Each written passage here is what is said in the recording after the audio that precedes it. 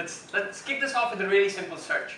So when I was in the Philippines, I heard a lot of people talk about this actor named Matteo Guidicelli. He seemed really popular. So let's do a search for him. And when I search for Matteo Guidicelli within FreeZone, you can see the 10 familiar blue links you get whenever you do a Google search. And since I want to find out more about this person, let's go to his Wikipedia page.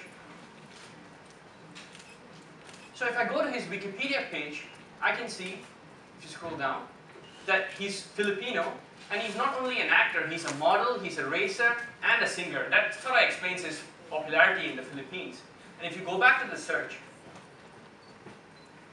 you can see that I can click on any other link that I want, and I can click on any of these links at no charge. And if I want, I can do another search as well.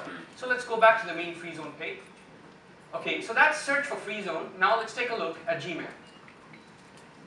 Gmail within free zone is a really simple interface, but it's a really powerful one. So let's click on an email here. Okay, here's an email from my team saying that I should, you know, good luck in the demo. And you can see that I can reply to it, I can forward it, I can archive it, or I can compose a new mail. And if I scroll down, there's, I can search my entire inbox right here on the simple device, just like I can on a desktop or on a smartphone. That's really powerful.